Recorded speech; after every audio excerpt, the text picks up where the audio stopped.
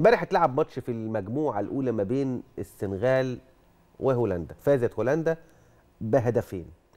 شايف مواقف أو موقف المجموعة الأولى عامل إزاي؟ وخصوصا دي مجموعة قطر البلد المضيف. هل السنغال عندها فرص أخرى في الصعود؟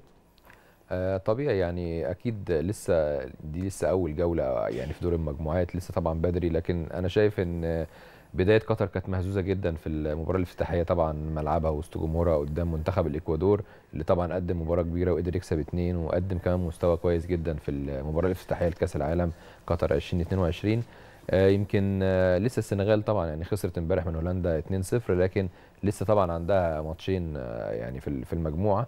لكن أنا شايف إن الأقرب طبعا في هذه المجموعة هو صعود هولندا والإكوادور بعد طبعا الأول انتصارين في في الدور الأول يعني. غياب ساديو ماني أثر امبارح بشكل كبير على السنغال ما كانش فيه هجمات خطيرة أمام المنتخب الهولندي. أكيد طبعا يعني ساديو ماني واحد من أفضل لاعبي العالم ووصيف أفضل لاعب في العالم الكرة الذهبية البالون دور بعد ما خدها كريم بنزيما نجم منتخب فرنسا.